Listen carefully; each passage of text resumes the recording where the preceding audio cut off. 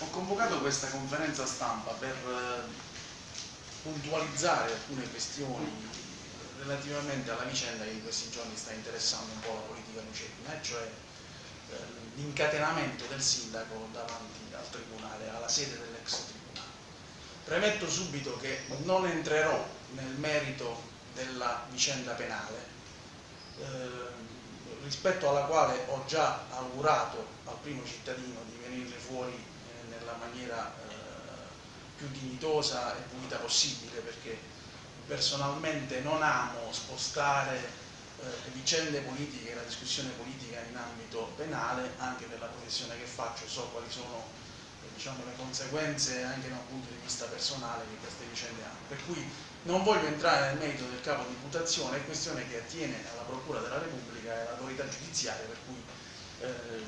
non mi interessa. Quello che mi interessa però è eh, affrontare la questione politico-amministrativa che riguarda la sede dell'ex tribunale. Perché noi non dobbiamo dimenticare che il sindaco si è incatenato dinanzi alla sede eh, del Palazzo di Giustizia prima che gli arrivasse eh, l'avviso la, di conclusione delle indagini preliminari. Quindi era una battaglia che aveva già diciamo, una, sua, eh, una sua finalità, che io personalmente non ho ben capito, ma che intendo appunto affrontare. Ho ascoltato ovviamente le, la conferenza stampa del sindaco e devo dire che l'ho trovata sinceramente piuttosto imprecisa in alcuni punti. Soprattutto il sindaco che giustamente si difende dalla imputazione penale, comincia a farlo anche con i mass media, a mio avviso salta alcuni passaggi di questa storia. Lui afferma con una dichiarazione anche efficace che siccome il Tribunale ci è stato tolto a settembre del 2013, da quel momento la gestione, tra virgolette, o gli oneri connessi alla ristrutturazione dello stabile eh, sarebbero passati nelle mani del Tribunale di Foggia, perché appunto a Lucera il Tribunale non esiste. Questa affermazione a mio avviso è mh, totalmente infondata, perché anche prima noi non avevamo la detenzione dello stabile, anche prima chi gestiva materialmente i locali, le strutture, eccetera, era il Ministero di Giustizia, che gli aveva appunto allocato il Tribunale di Lucera. Soppresso il Tribunale di Lucera, il Ministero di Giustizia ha semplicemente detto che per cinque anni la disponibilità di quello stabile sarebbe passata nelle mani del Tribunale di Foggia, ma questo da un punto di vista giuridico quanto agli oneri connessi in capo al proprietario, cioè al comune di Lucera, a mio avviso non cambia nulla. E del resto ci sono state delle situazioni che comprovano anche quanto al comportamento dell'amministrazione quanto eh, io vado affermando perché eh, la prima diffida, come il sindaco ha anche precisato, è, lui l'ha ricevuta a luglio del 2014, quindi pochi mesi dopo il suo insediamento. Ma ce n'è un'altra che a mio avviso è fondamentale ed è quella della commissione di manutenzione del circondario di Foggia che si è tenuta e si è celebrata il 21 aprile del 2015. In questa commissione c'è eh, la presenza del Presidente del Tribunale, del Procuratore della Repubblica, di alcuni funzionari e dei sindaci dei comuni che sono interessati dalla proprietà appunto degli uffici giudiziari. In questo caso ovviamente il sindaco del comune di Lucera. La commissione all'unanimità deliberò in quella sede di diffidare il sindaco del comune di Lucera a porre in essere entro 60 giorni ogni intervento urgente per la messa in sicurezza dell'immobile, a tutela della salute e della sicurezza dei lavoratori e dell'utenza che accede quotidianamente all'ufficio giudiziario sede della sezione stralcio del Tribunale di Foggia, sito in Lucera alla piazza dei Tribunali. Delibera altresì che decorso inutilmente il termine di 60 giorni dalla notifica della presente deliberazione vedrà inoltrata appunto apposita notizia di reato alla Procura della Repubblica ex articolo 200. Non dimentichiamo infatti che all'epoca il Tribunale, sebbene soppresso era ancora funzionante, cioè si celebravano diciamo, le, le, gli ultimi processi, quelli che erano rimasti incardinati qui a Lucera. Quindi c'era un accesso quotidiano di avvocati, di magistrati, di personale di cancelleria, di utenza varia di vario tipo. E infatti il sindaco in quella sede, intervenuto alle 15.32, recita testualmente il verbale, dichiara, dopo essere stato reso edotto della diffida,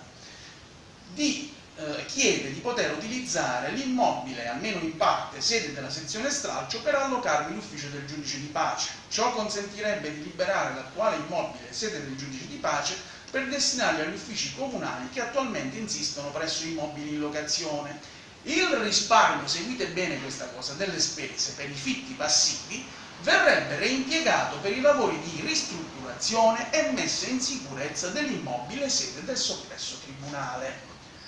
Quindi il sindaco, che oggi dice che questi oneri non gli competono, ha dichiarato dinanzi all'autorità giudiziaria tutt'altro, con un verbale che egli stesso ha sottoscritto e che gli è stato ovviamente consegnato. Questa diffida è stata notificata al comune, da, reca la data di protocollo 5 maggio del 2015, non so se riuscite a leggerla 5 maggio del 2015. Questo è un passaggio fondamentale. Perché dico questo? Perché se il sindaco, come afferma oggi, avesse ritenuto che non avesse l'onere di sobbarcarsi i costi per la ristrutturazione dell'immobile e per questi interventi di cui alla diffida, avrebbe già dovuto, a mio avviso, dichiararlo in questa sede. Ma quando anche fosse stato colto di sprovvista in questa sede, aveva la possibilità di fare ciò che un amministratore deve fare, e cioè impugnare dinanzi all'autorità giudiziaria questo che, contrariamente a quanto gli ho sentito affermare, è un atto amministrativo a tutti gli effetti. Questo atto andava, a mio avviso, impugnato dinanzi all'autorità giudiziaria alla quale avrebbe dovuto dire quello che oggi racconta nella conferenza stampa, cioè io non, più, non ho più la disponibilità, eh, l'immobile non è più mio, o meglio non è più eh, in mio possesso, non c'è più il tribunale, i lavori non li voglio fare. Avrebbe anche potuto dire quello che afferma continuamente, cioè che non c'erano soldi. Ecco, io al suo posto, di fronte a una situazione del genere, se non mi fossi voluto sobbarcare di responsabilità, avrei impugnato l'atto, magari rappresentando l'autorità giudiziaria che il comune di Lucera era in predissesto e quindi aveva i capitoli di bilancio tutti impegnati sulla scorta del piano che era stato presentato alla Corte dei Conti e rispetto ai quali non poteva più toccare nulla. Magari avrebbe ottenuto una sospensione di, quei, di questo provvedimento e il discorso oggi sarebbe diverso. Tutto questo non è avvenuto e secondo me non è avvenuto perché il sindaco sapeva perfettamente di essere responsabile in quanto legale rappresentante del comune dell'esecuzione di lavori che non sono lavori di ordinaria manutenzione. Oggi c'è necessità anche di quelli, ma all'epoca chi frequentava il tribunale come me sapeva perfettamente che pioveva l'acqua quando appunto vi erano delle precipitazioni abbondanti, sulle scale entrava dal tetto, cioè qui non era questione di eh, piccioni morti che avevano occluso eh, i, i pluviali. Qui il problema era ben più serio ed è un problema strutturale che da che mondo è mondo compete al proprietario dell'immobile e non è cambiato nulla. Anche con il decreto, con il provvedimento a cui fa riferimento il sindaco, la, la legge finanziaria, è vero, è cambiato il regime nel senso che oggi la manutenzione ordinaria e tutte le altre spese competono al Ministero, mentre prima venivano anticipate dal comune che aveva in cambio dei canoni. Oggi questo non funziona più, è il Ministero che si sobbarca, ma parliamo delle spese per il funzionamento ordinario del Tribunale e per la manutenzione ordinaria non si può pensare che il Ministero intervenga ristrutturando un immobile. E io vedo che il sindaco è andato in confusione, non lo so, sarà la notifica del, dell'avviso, ripeto, sono situazioni che creano eh, sicuramente apprensione, perché oggi dichiara su Facebook mi eh, interrompo la, la, protesta ehm, quindi mi tolgo le catene, lavorerò per ehm, allocare in quella sede i locali del giudice di pace e posta una comunicazione del 10 di luglio del 2017, cioè quindi di quasi un anno fa, in cui rimangiandosi di fatto tutto quello che ha affermato nella conferenza stampa, cioè che il comune non avesse l'obbligo di pagare quegli importi, dice al Ministero per il tramite del Tribunale, guardate che io sono disponibile a stanziare la somma complessiva di un milione e chiede al Ministero di compartecipare, cioè parla quindi di uno stanziamento. Ora io dico, sarò io forse che non capisco, ma a me pare così evidente, se io sostengo di non essere tenuto a pagare determinati lavori, per quale motivo stanzio oltre a que tutto quello che ho detto prima, stanzio un milione di euro, li tolgo dal bilancio comunale e li metto a disposizione. Io sono l'unico a vedere in questo comportamento una certa contraddittorietà, a me non pare. Ecco perché io sinceramente non capisco le finalità di questa, di questa protesta. Oggi ho letto che un, un, una firma diciamo, della Gazzetta del Mezzogiorno, Lello Vecchiarino su Facebook, avanza il sospetto che il sindaco fosse già a conoscenza dell'imminente arrivo di questo avviso di conclusione degli indagini preliminari e per questo motivo abbia scenato la protesta. Mi auguro che non ci sia nulla di questo, di tutto ciò, eh, anche se per esperienza mia personale so che eh, dalla data del deposito dell'avviso nella segreteria della procura, la data della notifica decorre solitamente molto tempo, per cui diciamo, si può anche arrivare ad avere notizie ufficiose prima delle notifiche ufficiali. Però io non voglio considerare questo. Io mi diciamo, faccio altro genere di considerazioni, perché il sindaco non è nuovo ad azioni eclatanti di questo tipo e se ci fate caso, così come ho fatto osservare in altre occasioni, solitamente lei scena nel momento in cui è in difficoltà rispetto ad altre vicende. Il caso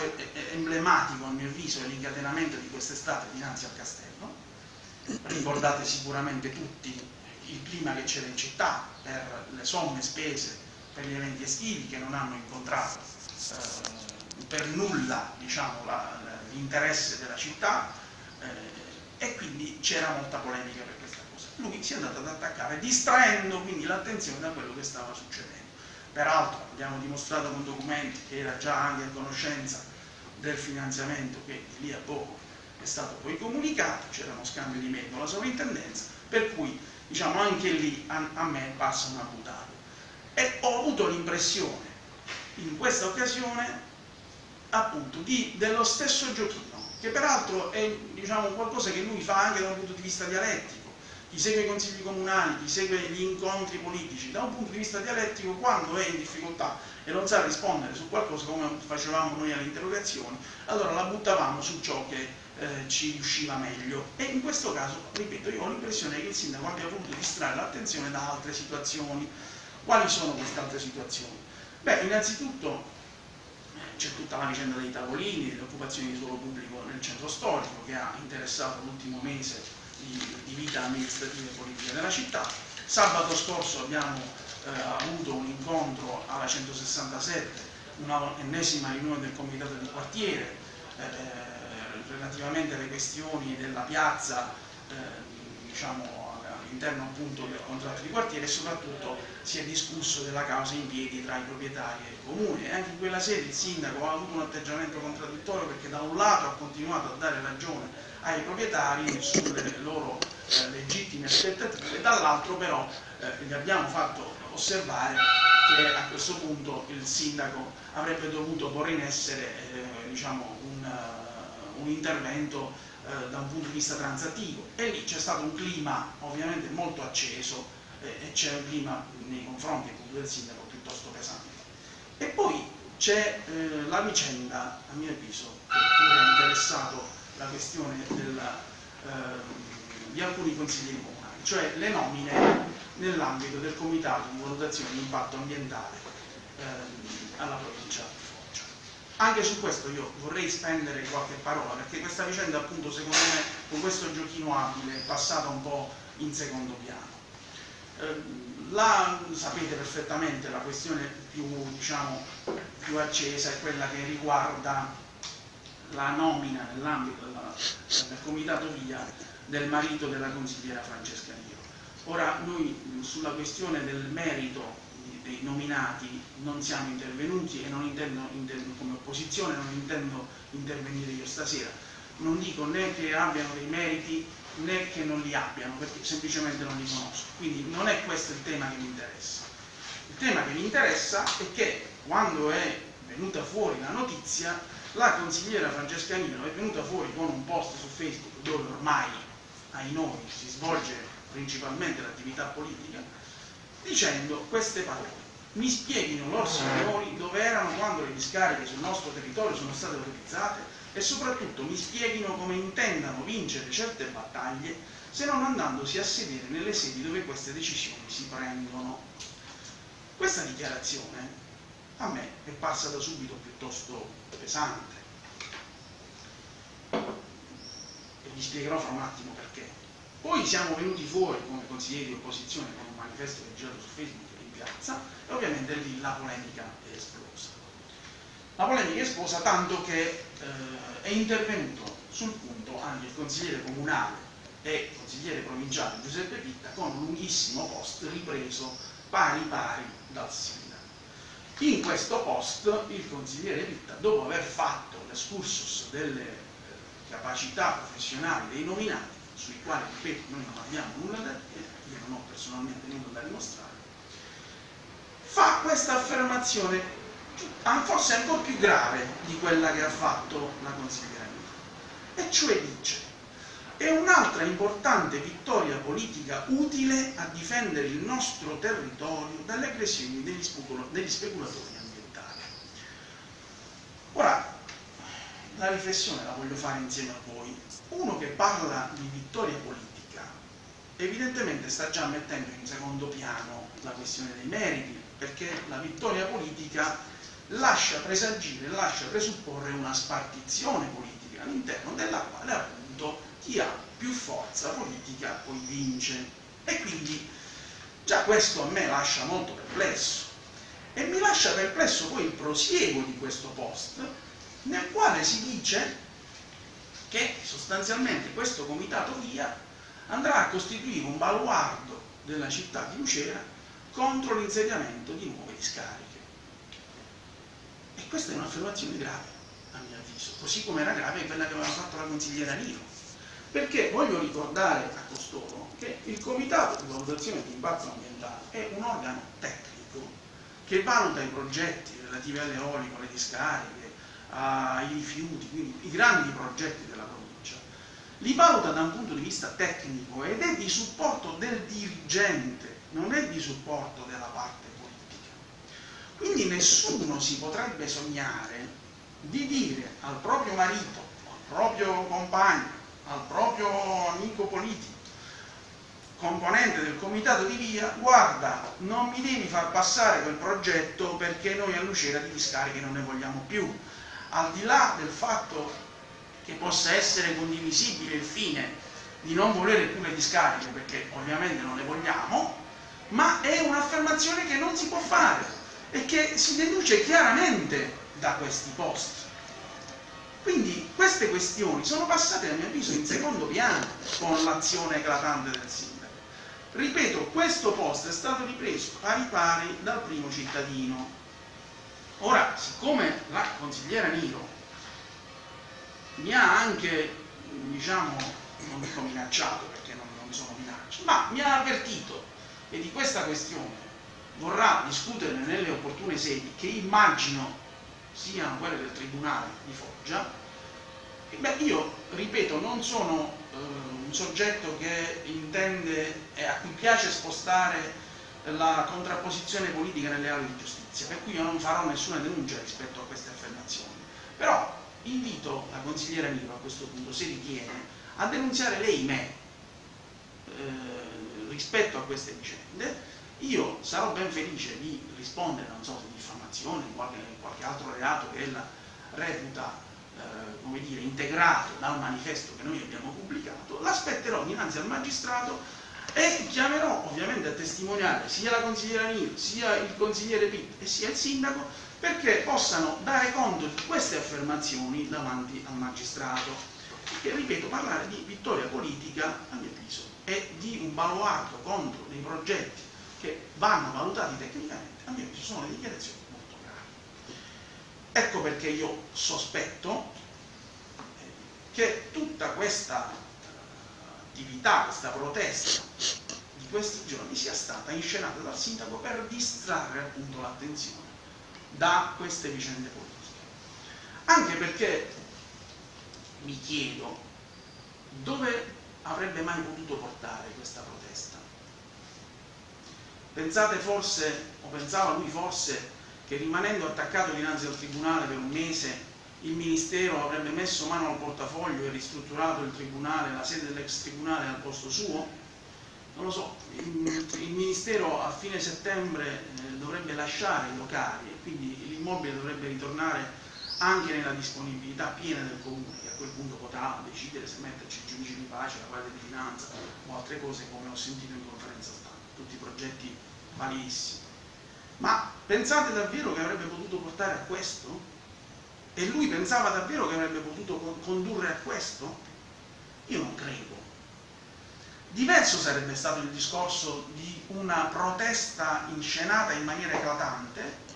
ma finalizzata non solo a porre diciamo, in risalto le condizioni in cui versa l'immobile, ma anche a porre in risalto le condizioni in cui versa il Tribunale di Foggia dal punto di vista della funzionalità giudiziaria e quindi anche in vista della composizione di questo nuovo governo che sembra voglia eh, rivisitare la, ge la, geografia giudiziaria, rimettere in discussione la possibile apertura del Tribunale. Quella sarebbe stata una protesta ben diversa, alla quale probabilmente avremmo, anzi sicuramente avremmo partecipato tutti, visto quello che è successo eh, dopo la chiusura del Tribunale e le conseguenze dal punto di vista economico che la città ha vissuto. Però fatta così, a mio avviso, non serve, non, non è servita a nulla, ripeto, se non a creare l'ennesimo clamore e a creare eh, diciamo, il risalto mediatico, eh, bisogna riconoscere rispetto a questa cosa il sindaco non ha rivali, è sicuramente molto abile, quindi eh, questo è il punto. Per cui davvero oggi ha annunciato che si è scatenato, ne prendiamo atto, però ripeto io non, non vedo davvero dove potesse arrivare quindi eh, ci tenevo a fare queste precisazioni. Io capisco dire, per certi aspetti anche eh, diciamo, l'atteggiamento del primo cittadino. Lo comprendo perché pensare di dover spendere dei soldi per una struttura che non solo non è più nella nostra disponibilità ma che soprattutto costituisce una verità aperta ancora nel cuore della città, una ferita eh, che ripeto ha colpito il tessuto economico, sociale della nostra città, io lo comprendo da un punto di vista anche umano e politico se vogliamo, però io ritengo che dal punto di vista amministrativo, dal punto di vista delle responsabilità, eh, ecco, non, la posizione che ha assunto il comune di Lucera, indipendentemente da quello che sarà l'esito nel processo penale rispetto al quale, ripeto, gli auguro ogni bene, eh, secondo me è sbagliato.